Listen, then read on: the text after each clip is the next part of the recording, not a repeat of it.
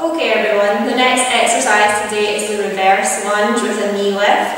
So I'll show you side on. So you're going to be taking a big step backwards, making sure that your front knee doesn't go past your toes. So arms out, big step back, drop your knee back down towards the floor, and then from here you're going to drive your knee up and engage your abs at the same time. So other side, big step back, drop your knee down, drive your knee up, core nice and tight. Or if this is a little bit much on your hip flexors, we can do the standard reverse lunge. So you're going to step back and your knee goes to a right angle. So step back, drive your knee up, other side, stepping back, and then driving your knee up as well.